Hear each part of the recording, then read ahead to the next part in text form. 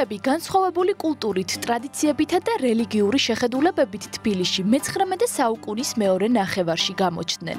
სწორედ ამ პერიოდში დაარსდა ქურთული თეატრიც, რომელიც მათ ცხოვრებაში დიდ მოვლენად იქცა. ისინი თბილისისა და ბათუმის უმაღლეს სასწავლებლებში სწავლობდნენ. მომზადდნენ ქურთი იურისტები, პედაგოგები, ექიმები, მხატვრები, მსახიობები და მუსიკოსები. მნიშვნელოვანია ის ფაქტი, რომ საქართველოს მწერალთა კავშირის დაარსებასთან ერთად ქურთ მწერალთა ჯგუფით შეიკრიბა. ბეჭდებოდა მათი ნაწარმოებები და დიდი პოპულარობითაც სარგებლობდა. ჩვენი ხალხის, ქართველის და ქურთი ხალხის მეგობრობა უამრავ წელს ითვლის და ზუსტად ვერც გეტყვით, როდის ჩამოყალიბდეს ურთიერთობა. სწორედ საქართველოსში სხვა ქვეყნებისგან განსხვავებით და არსდა ქურთული რადიო, კულტურის ხრივ ჩვენ გონდა დიდი ასპარეზი, სადაც ჩვენ უფრო მეტად განვითარდით. თავისუფალ თეატრში ახლა სწორედ სხვადასხვა სფეროში მოღვაწე გამოჩენილ ქურთებს აჯილდოვებენ, რომლებმაც ქურთული კულტურის განვითარებაში საკუთარი წვლილი შეიტანეს. მათ შორის არიან სულიკო სიმაევი, ქურთული კულტურული ცენტრის დამაარსებელი, მხატვარი თამაზ არაბოვი და ასევე ქართული უცხოური და ქურთული სიმღერების შემსრულებელი როზა გერგერი. ორი დანიშნულება ქონა, ერთი რელიგიური, მეორე კულტურულ საგანმანათლებლო ცენტრი. ამას ხოდა ასეთი დატვირთვა რომ ყოფილიყო ერთგვარი კლუბი აი ჩვენი დიასპორის შეკრების ადგილი. სადღაც ხომ უნდა ხდებოდნენ ერთმანეთს? კომუნიკაცია უნდა ქონდეს სასიამოვნო ჩვენი სათვისტომოსთან შეხვედრა. იმიტომ რომ ისედაც ძალიან დაგსაქსულები ვარ და იშვიათად ხდებით ერთმანეთს რა ძალიან იშვიათად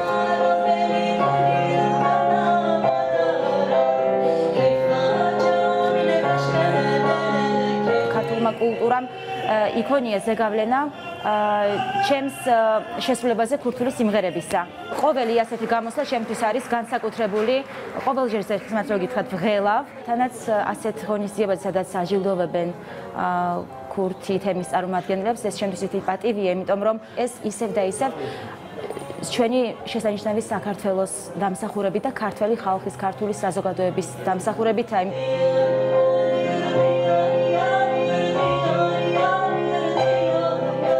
აი ბავშვობიდან ხატავ, რაც ჩემი თავი მახსოვს, სანამ სკოლაში მივედი. ეხლა გადავედი ქურთულ თემებზე. ამ ამ მუშაობას აქვს დიდი ისტორია, იმიტომ რომ ყველა ცნობილი პიროვნება ამ პიროვნებამ პირადად ააშენა ეს ეკლესია და აჩუქა ქურთებს. ეს არის ჩვენი თავადი ყველაზე დიდი ადამიანი. ეს არის ჩვენი წერალი, პოეტი, რომელიც ახლა გამოვიდა. ეს არის ჩვენი ხატვარი. ღონისძიება საქართველოს ქურთული ასოციაცია რონაის ინიციატივით ჩატარდა. ორგანიზაცია ზუსტად 1 წლის წინ შეიქმნა. თავარი მიზანი სწორედ ქურთული კულტურის განვითარება და ხელშეწყობა. ყველაზე მნიშვნელოვანი კი ჩვენ საზოგადოებაში მათი უფრო მეტად ინტეგრაცია.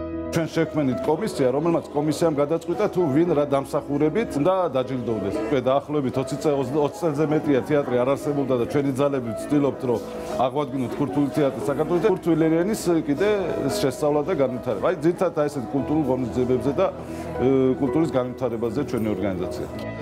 საქართველოს გამოჩენილი ქურთი მოღვაწეების დაჯილდოება ყოველწლიურად მოხდება, თუმცა გარდა ამისა, ორგანიზაცია რონაიმ უკვე სხვა საინტერესო პროექტებით დაგეგმა. ქურთები, რომლებიც ტრადიციებს დღემდე ინარჩუნებენ და თაობიდან თაობებს გადასცემენ ახლა, საკუთარ თავში დარწმუნებულები და კიდევ უფრო მეტად დაფასებულები არიან.